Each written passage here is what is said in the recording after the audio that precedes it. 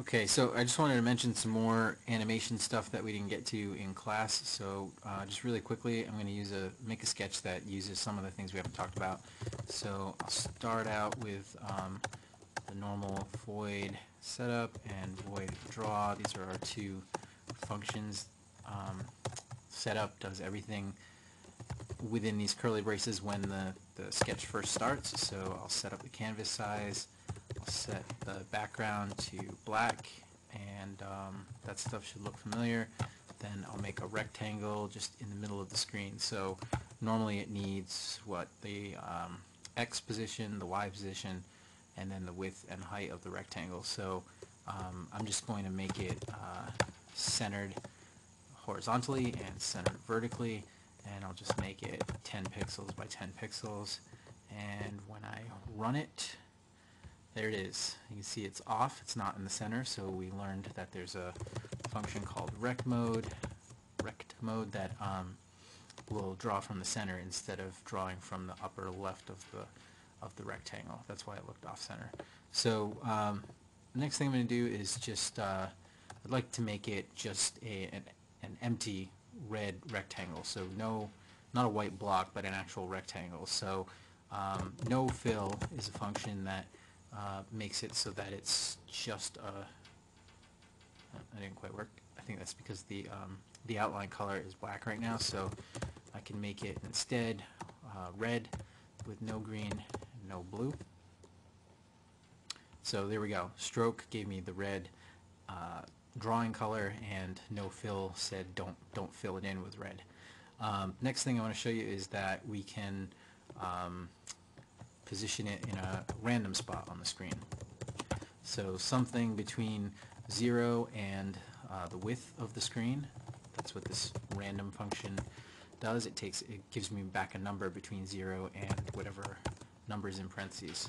So every time I run this, well, what's happening is it's drawing a random rectangle on the screen um, every time the draw loop runs, which unless I've said otherwise with frame rate, uh, I can say frame rate is 24. Normally I think it's 60, so we should see it start to go slower now. So it's a bit slower.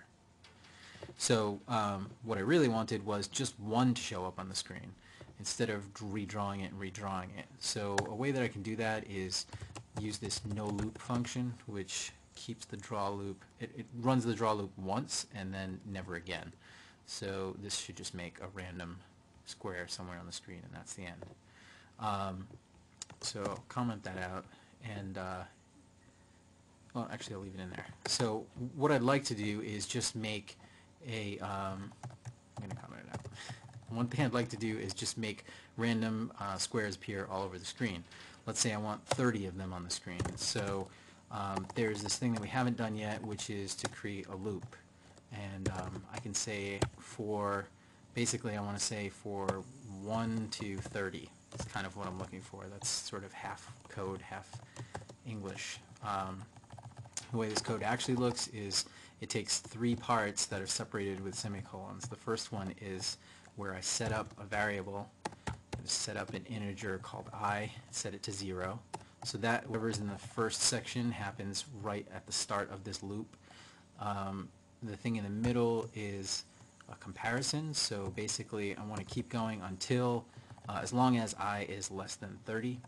And then the last thing is what I want to do at the end of every iteration of the loop. So I'm going to add 1 to i. Um, if I look at this, what it's doing is not exactly what I wanted. It draws 30 rectangles on the screen in random places, but it, um, it keeps doing it. So 30, 30 uh, rectangles are drawn, but 24 times a second. So you can see if I put the no loop back in, there's my 30 random squares. If I run it again, they're in 30 random other spots. Um, so I think that's all I can show you, and I'll, um, I'll continue this in a second video.